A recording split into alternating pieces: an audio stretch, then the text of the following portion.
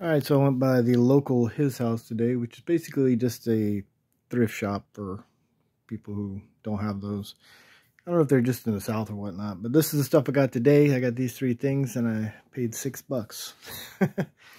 so not bad.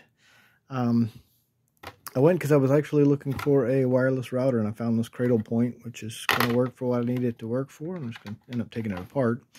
But while I was there, I found this that is like literally never been opened. so this is a, a, USB wireless adapter. It's a wireless G adapter. So this is an older adapter. Um, but I'm pretty sure it will work with uh, newer operating systems. I'm not really sure. I know it works for uh, for Windows, so um, it is a fairly older adapter, but um, it's amazing that it's never been opened, and it's uh, designed to work for Windows XP, so I'm pretty sure it'll probably work with uh, Windows 8, 10, and above. But we'll figure it out. I'm going to definitely use this. This will be good for like a a PC or something that doesn't have a wireless adapter. So that's pretty cool. And then I found this, which I was like, hell yeah. And it has everything inside. I was like really surprised. Uh, you don't ever find stuff like this hardly anymore. And this is one of the very first uh, QuickCams. Either when it was still owned by Connectix so QuickCam actually got, I think got bought out, um, I don't even know, years ago. But this was one of the older versions. So this is, I think, one of the very first versions, if I'm not mistaken. And uh, don't know if you can see that, but it was designed in, released in 1995. So this is for uh, Windows 95. Yeah, so it's like the old school. And amazingly enough, uh, it's in there and everything is there. So let me show you. The QuickCam is just the basic camera. And this is before they actually mounted them to the base. So it's, it's the actual base here.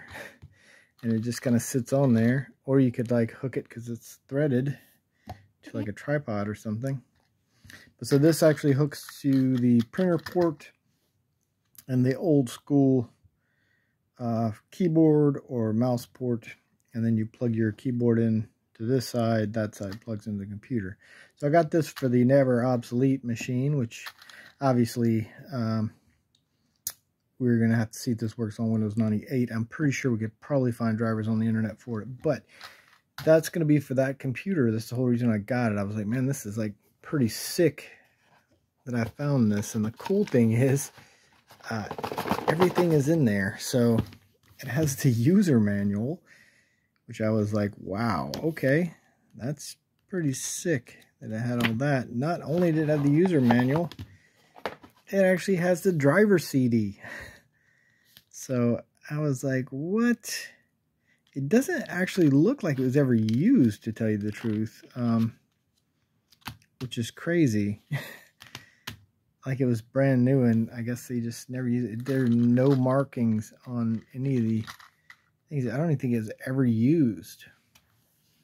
But yeah, so I got that today. That was pretty cool. And it came with the box and everything. So that's going to go into storage for right now because my computer is in storage that this is going to hook to. But uh, it was a good find. So I like finding this old stuff. And cool thing is I got uh, all three of these for $6. You can't beat that. So yeah.